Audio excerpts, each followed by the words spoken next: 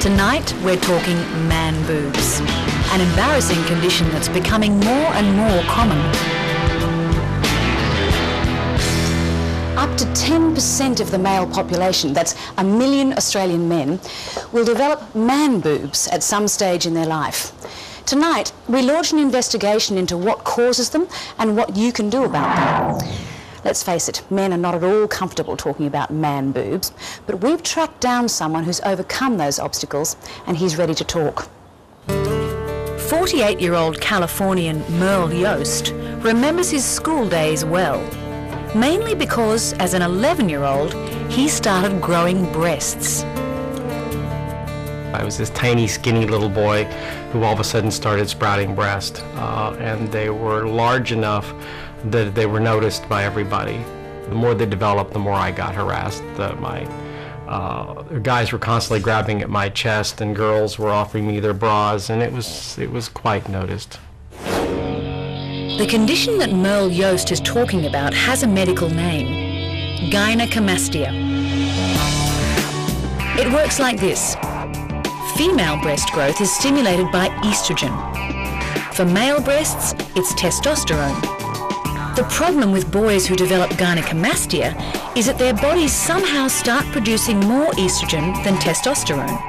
And hey presto, man boobs.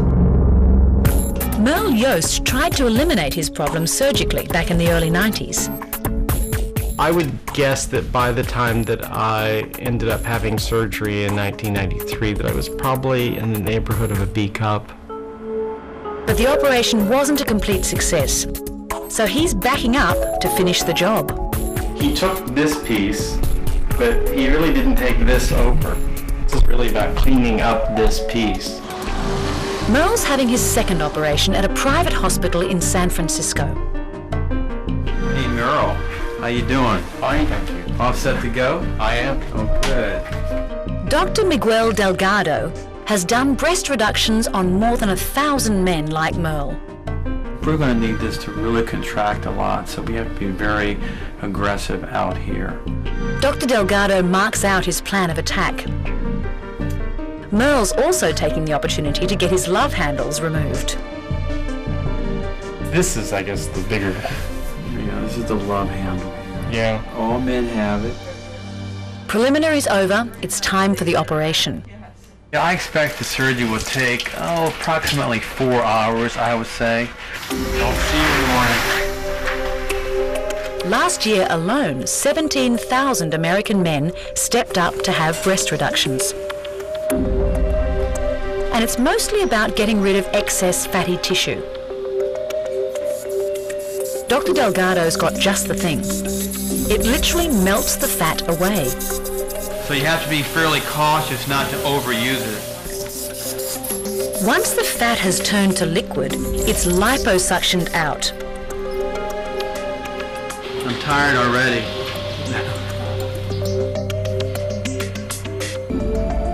After four hours of poking, prodding, carving, suctioning, draining and stitching, the operation comes to an end.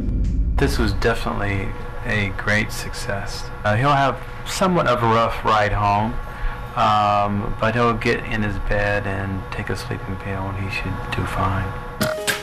Dr. Delgado seems optimistic. But will Merle be as happy with the result? And how will he feel about life without his man boobs?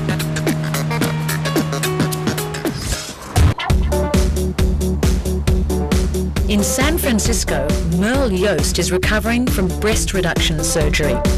It's been five weeks since the operation. He's still wearing a compression garment. But when he takes it off, the shape of things to come is clear to see.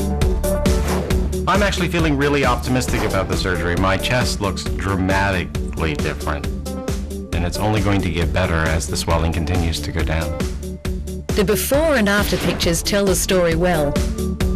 Merle's had to update his wardrobe to take account of his new slimline self.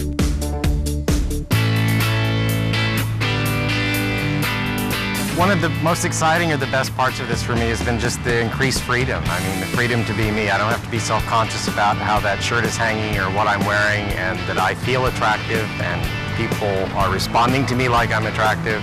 And it just gives me a whole new lease on life in a way that I can be uh, more exciting and have a lot more fun.